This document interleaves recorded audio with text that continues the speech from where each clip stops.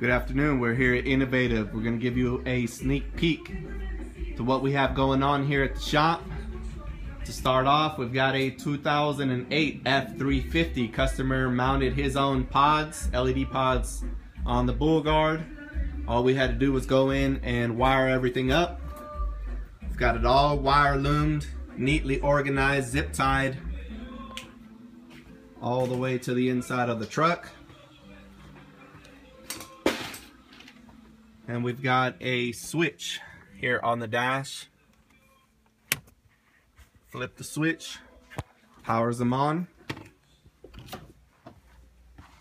Picking up five quarts of Castrol Edge These bad boys are extremely bright. So all that's finished.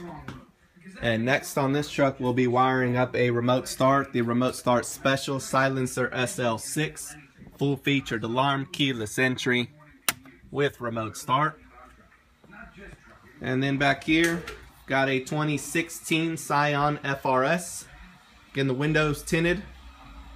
Now on this vehicle here, in order to get the back glass put on, the entire back seat and rear panels have to be removed in order to get it on there correctly.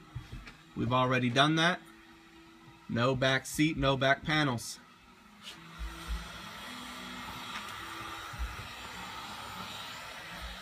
We are doing the heat shrink process on the back window, getting it fitted, and we're gonna cut it out, paste it, and put everything back together. Doing 5% limo tint on the little quarter glasses and the back glass. Doing Texas legal on the two doors. If you're ready to get your ride worked on, give us a call at 214-320-5500. And we'll see you guys on the next one.